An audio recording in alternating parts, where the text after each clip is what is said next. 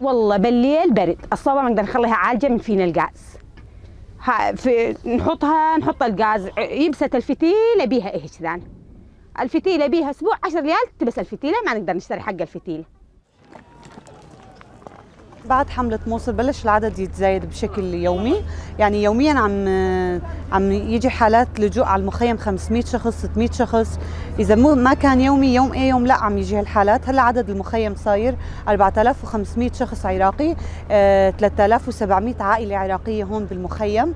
آه طبعا على سبيل تقديم الاحتياجات ما عم عم تتقدم لنا الاحتياجات بس ببطء شديد يعني. آه هلأ كثير من العوائل بدون مدافئ ما عندهم مدافئ للشتاء. آه ما عم تتقدم لهم وسائل المازوت.